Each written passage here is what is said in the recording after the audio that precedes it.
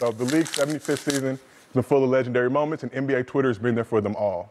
So let's take a trip back down memory lane with some of my favorites. Twenty dollars.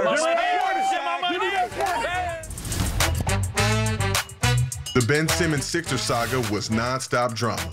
After ducking Doc and the squad by holding out, Big Ben finally pulled up to remove all doubt.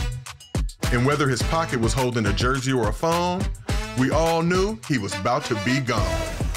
When Simmons' trade for Harden finally became official, Joel Embiid was the first to blow the whistle. His meme showed us there was no brotherly love lost, and Morey reunited with the beard, but at what cost? In Simmons' first trip back to Philly, Kyrie and KD had the Sixers looking silly.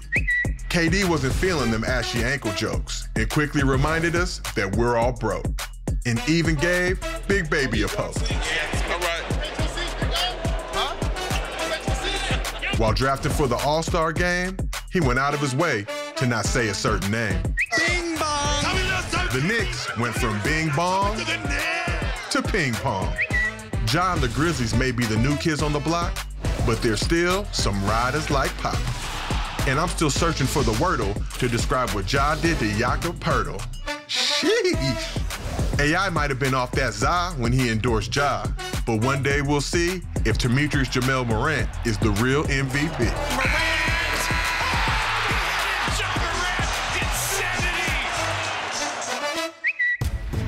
When everybody saw Kuz's sweater, even LeBron said, bruh, you could do better.